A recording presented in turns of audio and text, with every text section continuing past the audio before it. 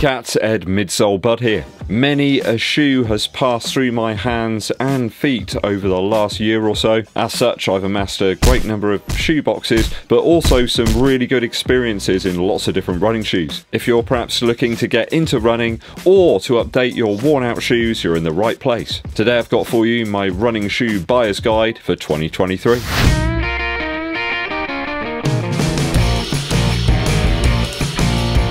Welcome to the channel and help us to continue growing by hitting that subscribe button, but also giving this video a thumbs up like. Dankeschön. So you're in the market for a, new running shoe, perhaps you're a beginner runner, you might be someone who's been running for ages, you just want to update your current shoes that might be worn out. Today I've got my full-on buyer's guide for you for all the different options. We're going to start off with beginner options first, there's three or four that really stick out as great value do-it-all shoes. Perhaps if you're getting into running, you're doing a couch to 5k, maybe in preparation to do some 5 or 10k races, you could be someone that just likes getting out running for the sake of mental health and exercise. Straight out the blocks, we got the Floatride Energy 5 from Reebok, probably one of the best choices for you, coming in about £75 here in the UK, though it is often discounted. It's got a nice average level of softness here in terms of that midsole, decent outsole as well for some varied terrain. Reebok do a boatload of different colours of this one, but I particularly like this. I think it's got a really nice hue. Hard to look beyond this shoe really in terms of pure value if you're a beginner or an intermediate or experienced runner. Just scores highly really on practically everything you want from a daily running shoe. The Reebok Floatride Energy 5.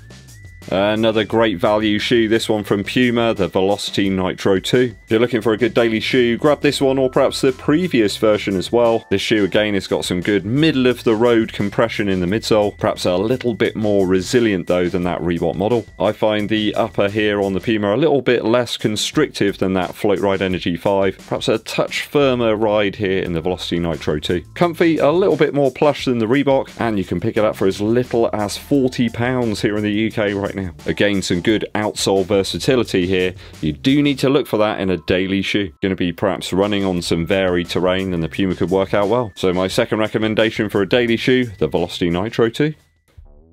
Nike on the list now, the Pegasus 40. This is the current version of their long-standing Pegasus model. For road and concrete paths, for a little more cash, you can pick up the Pegasus 40, the gold standard really in terms of Nike's running lineup. It's that do-it-all shoe, the one that you can use for practically anything even for casual use like I've been using it for. I do see people training in these and racing in them at local events, so don't discount them for that. Though rather than just a slab of foam here in the midsole section of the shoe, you do have some air units as well. There's one in the forefoot, one in the heel. They're supposed to provide a little bit more propulsion. I actually find that they make the shoe a little bit of a firmer ride but a little bit more responsive, and I kind of like that. Again, the outsole here on the Pegasus is very versatile. That's a common factor about all the shoes I'm going to recommend for you in this section. The Pegasus is a bit more expensive, around about £100 here in the UK. There are some discounts though, do look around. It's the type of shoe you can probably get in Sports Direct or something, so go over there and just ask them to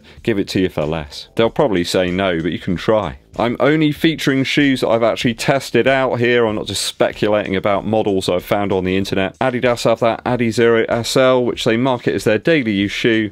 I have tried that out. It wasn't something that really worked for me. A little bit too firm. I just can't really recommend it over the other models right now. Perhaps if you're a heavier built runner, you're looking for a daily shoe, the Ultraboost Light could be good. Lots of viewers are telling me that that one is a shoe they're enjoying a huge amount. If you're perhaps looking for a daily shoe with a little bit more stability, you couldn't go far wrong if you pick up the Forever Run Nitro from Puma. Might look like a huge midsole stack here, but it isn't really. I think you could use this one as a daily kind of driver if you just need some more stability elements from those silicon parts that sort of cup up and around the heel. You can pick these up for as little as about £100 here in the UK right now. Features two different types of that nitro material that we see in the Velocity Nitro 2. Just provides a little bit more direction and containment if you perhaps have some pronation issues. I mean, do people need stability shoes? Do they just make more problems than they actually solve? That's a question for another video, but I find this to be quite a subtle stability shoe. It's not really in your face. So in short, looking for a daily shoe, I would look actually underneath first Has it got some sort of outsole that's going to work on a variety of different surfaces? For a daily shoe, you're probably not going to want that maximum stack. Something that's a bit middle of the road. It's not that maximum stack, not something too minimal. Moving on to the next section now, for those sort of longer runs, for those training for a marathon, you will no doubt be entering into the Church of the Sunday long run. 16, 18, 20 plus miles, of course. Thus, you're going to need something with a more maximal stack there to reduce some of that impact just help to protect those legs a little bit more and aid in recovery. Now, there's an absolute ton of these shoes right now, so here's a bit of a whistle stop tour. ASICS have got a bunch of these shoes, the ASICS Nimbus 25, perhaps a more stable long run experience in this one, has a firmer, more consistent midsole, with some heel incorporated pure gel. I think they've put that there to further absorb some of that shock. The heel collar here is almost sofa-like, I suppose. It's certainly one of the more plush upper shoes. Many viewers have commented about the outsole of the Nimbus 25. It is incredibly durable, so it should go on for miles and miles. At the time of making this video in July 2023, you can pick these up on discount for around about £125 if you're lucky. So that's my first recommendation, the ASICS Gel Nimbus 25.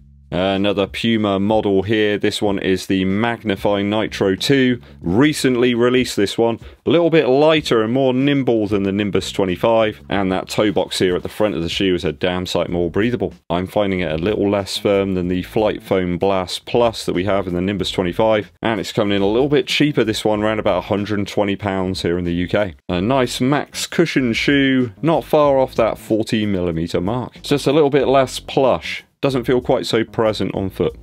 Another non-plated shoe here, but with lots and lots of cushion, the Triumph 21 from Saucony.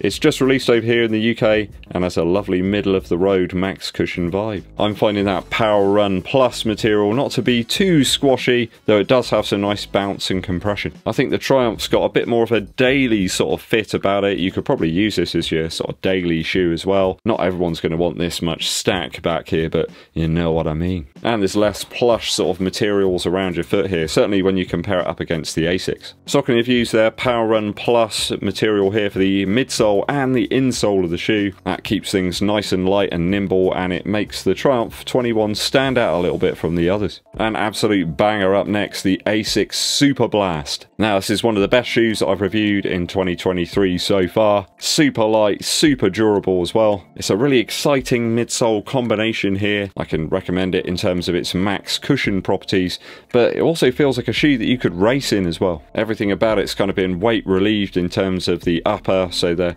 leaving that extra weight to be used up by the midsole. I used this to walk around London last weekend. It really did save my legs ready for a PB on the next day. Though it is a costly shoe at 200 Earth credits, it's going to be one for those people that are perhaps a little bit more invested in their running. Very good model this one. Versatile as well, you can use it for pretty much anything I suppose. Longer runs and some racing. No reason why not. The ASICS Superblast.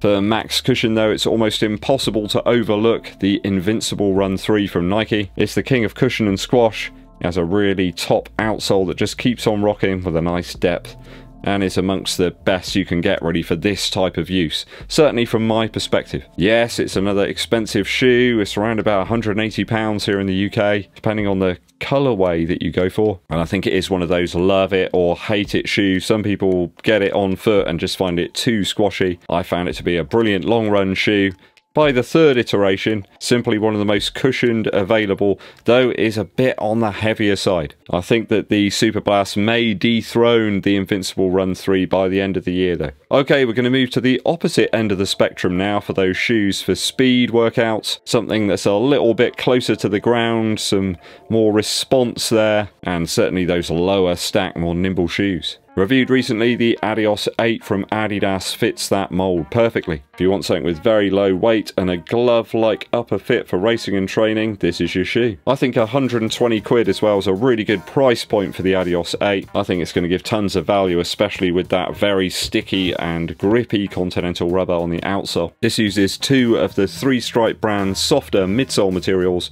and it's all the better for it. Lightstrike 2.0 in the heel, and Lightstrike Pro in the forefoot. It's a really great shoe for pace workouts and some racing as well. The Adios 8.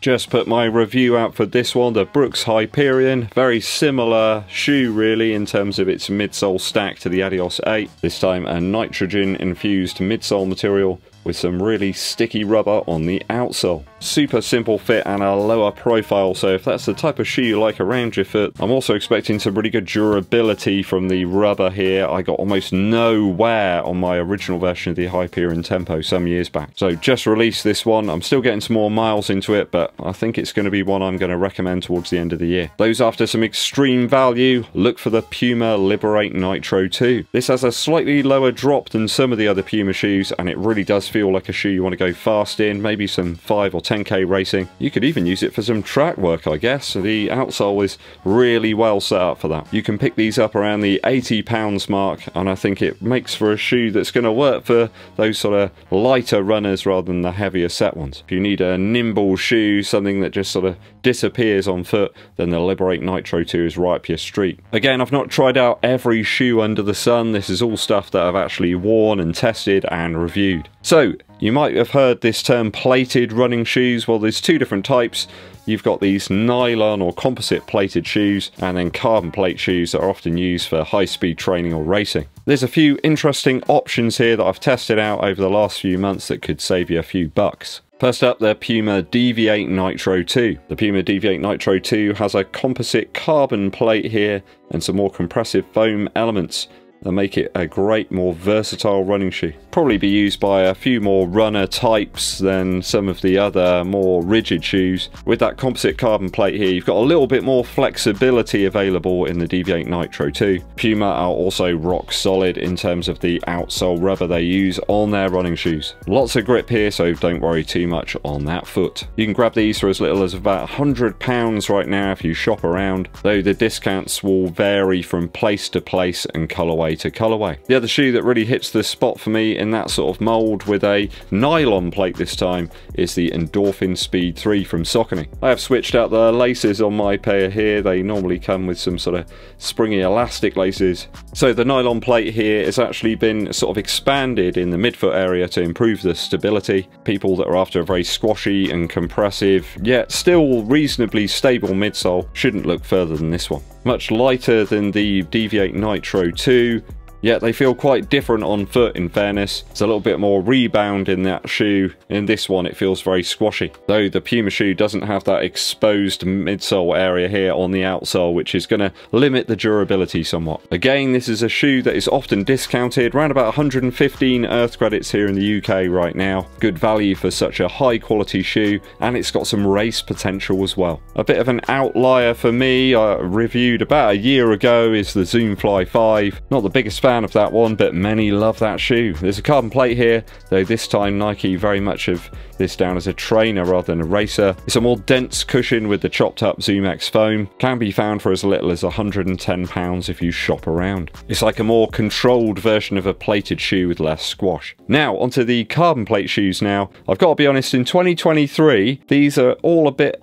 of a much of a muchness. People have copied the design that we first saw a few years back Every brand's got one now. Highlights for me are probably the Hoka Rocket X2. It has a lower 5mm drop from heel to toe. Super soft foam as well here in the Hoka. I'm glad that they've updated their race shoes to use this stuff. The plate here appears to provide a little bit of stability due to that soft foam, but also some propulsion as you toe off. Though at the moment it does have a particularly unmovable £220 price tag. So see if you can find a discount code or something if you want to pick up this one. Another carbon plated shoe that I really love and have reviewed over the last year is the Puma Deviate Nitro Elite 2. It's a soft yet controlled cushion here in the Puma. It's a brilliantly simple upper and at the price point of 180 it's actually a really good shoe and great value for that. One of the most versatile plated shoes on the market today. Now, this shoe kind of grew on me over time. I'm still not dead set on the upper, but yeah, I can run fast in it, that's for sure. The Vaporfly 3. It's super light, though less stable in the heel than two of the other shoes I've mentioned so far, but when it comes to sort of bounce and the leg saving abilities of this one, it's right up there in terms of performance, but also in terms of price at 235 big ones. You've got to be pretty invested to want to pick this shoe up. So maybe leave it down the line a little bit. If you don't like the bigger sort of in-your-face brands, you want to try something a bit different, you could pick up the Under Armour Flow Velociti Elite. This one's proven very durable so far actually. I think it's down to that sort of dual midsole here. You got this really sort of soft Pebax section on top of that flow material underneath. It's a little bit firmer, a little bit more resilient. I've been enjoying this one in terms of reps and intervals at faster pace. Really keen to see what Under Armour do with this shoe over the coming years, how they sort of switch it up. It's a bit of an overlooked one this one, go and check it out. If you can pick one up at discount, it's worth a try. Now there's some other options out there that are a mixture of max cushion and plates. The Prime X Strung from Adidas for example, that one towers above some of the others in terms of the actual height and it's got a new upper that's like 3D printed yarns. Very interesting. I don't think that shoe's for everybody. It's one that you need to be quite a neutral runner for. If you've got any stability problems there, you could turn your ankle. And it's also extremely expensive at £230. So again, it's one of those shoes that you've got to put a lot of investment into. If you're perhaps starting out, pick up the Reebok or the Pegasus or something, that'll probably do you fine. It's one of those shoes that exposes any sort of weaknesses in terms of your ankles, your knees, just strength and balance in general. You got other shoes out there like the Alphafly 2, that's probably outgoing right now. I had some mixed experiences in that shoe. I don't think I can really recommend it at its retail price. It might come down in price soon when they launch the Alphafly 3. Okay, that's pretty much everything that I've reviewed over the last year or so. Well, at least all the shoes I kind of want to recommend right now. Tested out a lot of stuff. Some of it works well, some of it not so well. Let me know your experiences in some of these shoes and perhaps some other alternatives as well down in the comments. Quick musical interlude for you. Worth checking out is the new album from Tinariwen. They've got a couple of tracks on here that feature Daniel Lanois. Really worth listening to. Some interesting guitar movements. Totally different to a lot of popular culture guitar, which has become sort of over compressed and simplified. This feels really free. Feels like the type of music you could actually put on go and do some of those long runs I was talking about earlier. I've been a fan of this group from Mali for a long time. They've been putting out albums for years and years. I think I picked one up back in 2006 maybe something like that. Seemed like yesterday but it's not. It's a long time ago. I love the production here as well. It's really sort of open and wide. You can hear all of the instruments going on. Some really nice percussion too. I'm not sure how you pronounce the album title but i'll stick it on the screen here. Thanks for tuning in people. Hope this video helped out in some way. Please hit that subscribe button and give this video a thumbs up. Like it helps us out a lot. My name's Ed Bud and i'll be seeing you